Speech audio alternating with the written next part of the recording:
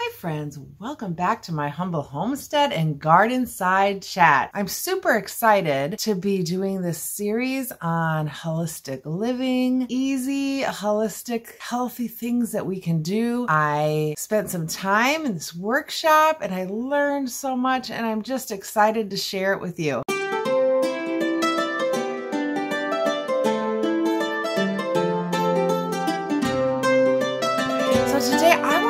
About the onion. Onions that we can use, different things that we can do with the onion, how many health benefits it has, and just some amazing things that we can use the onion for to help us at home. Onions are nutrient dense, meaning they're low in calories but high in vitamins, fiber, and minerals. Onions are high in vitamin C, which may help regulate your immune system, collagen production, and iron absorption. It's also a powerful antioxidant that can help protect your cells from unstable, damaging molecules called free radicals. Onions are rich in B vitamins, including folate and B6. These play key roles in metabolism, red blood cell production, and nerve functions. Onions are also a good source of potassium, a mineral that may help with cellular function, fluid balance, nerve transmission, kidney function, and muscle contraction. The average potassium intake of Americans is less than half. The recommended DV of 4,700 milligrams. So adding onions to your diet is a great way to increase the potassium intake. Allium vegetables such as onions and garlic, which is we'll do garlic in another video, may lower your risk of developing certain cancers, including stomach and colorectal cancers.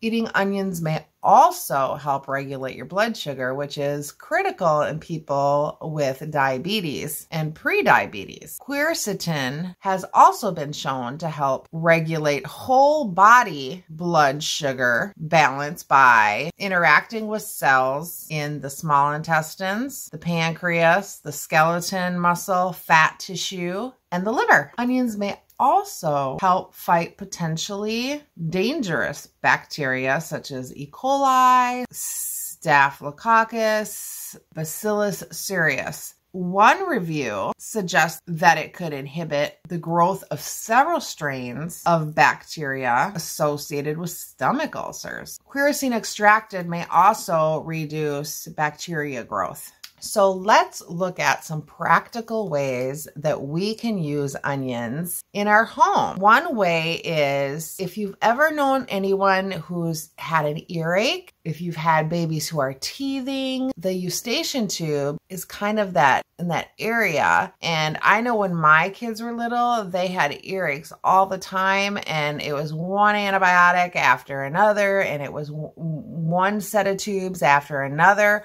But here is a great way you can use an onion and it can really relax and help an earache. So what we can do, I'm going to bring you down here because I want to show you what I'm going to do. Okay, so let's see the onion. So what we can do is we want to steam an onion in a cloth or we want to do a steam or a dry bake. We don't want it to be in water because it can lose some of those properties. So when you steam it and you get it hot, then you want to cut it in half so you see the rings. And then when you see those rings, you can put this onion in a cloth. And then when you wrap it up in the cloth, let me see if I can pull you up a little bit.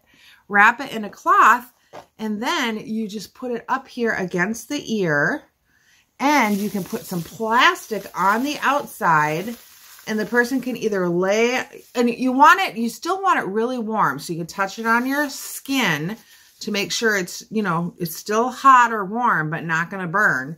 And then the plastic will hold the heat in. And then you can either put a hat on to hold it in place or the person can lay down. If it's a child, it's probably good to put a hat on. And then you hold it there till it cools off. And then if it's still having problems, you can heat it up and do it again. And this you just do until it's better. You know, if they need it for several days, that's fine. If it's just one time, it's great. But it, it's a drawer, so it pulls out whatever's causing that ear infection or the it can just be beneficial. Now, one thing, and it draw the onion will draw out the inflammation and reduce inflammation. It also could drain. Like if you have something in there, it's okay if it drains it out. That's fine because if the body naturally drains something, it's it's okay. If we force it to drain it, we definitely don't want it to do that, right? So another thing that this heated one is good on is boils. If you have any boils, you know anyone who has any boils, you do the same thing. You put on the boil and it will draw all the waste out. So that's another thing and that can help cause relief of that. Now, raw onions are great for a cough, a bad cough. If you know anybody who coughs at night, just not able to sleep, and this is really good for children too because you're not giving them anything toxic, any medication.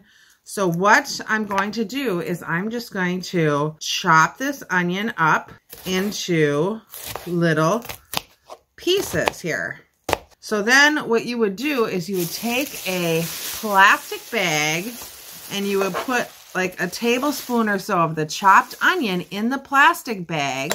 And then you would, the onion on the bottom, you would put that foot in the plastic bag and then you would wrap that up in the foot and then you would put a sock on there to hold the onion and the onion will draw it out. Do one on each foot. It's crazy. They will not cough at night.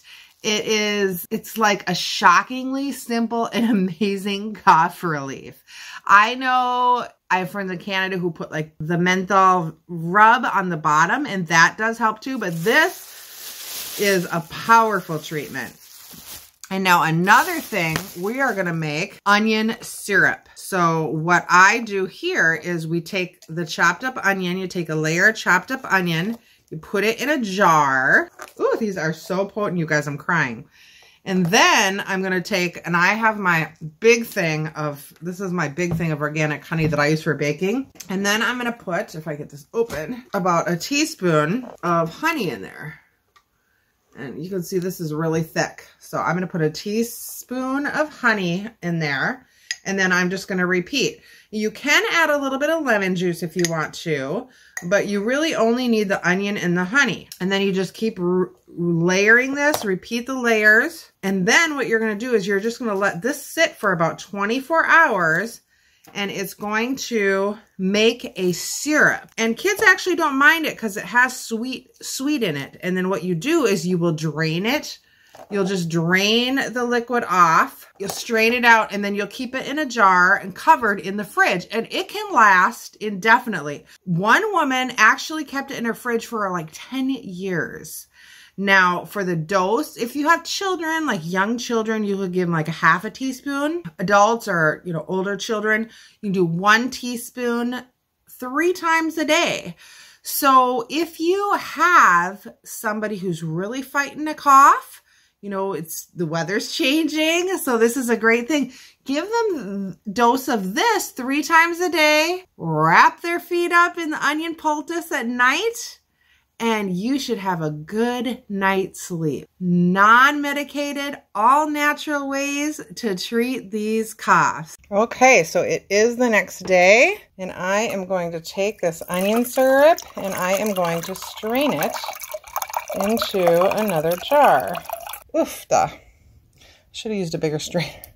Okay, and then I just put it in the smaller jar. I'm to put a cover on it. I'm to label it and I will keep it in my fridge for if I need it. So here is the onion honey syrup, the cough syrup.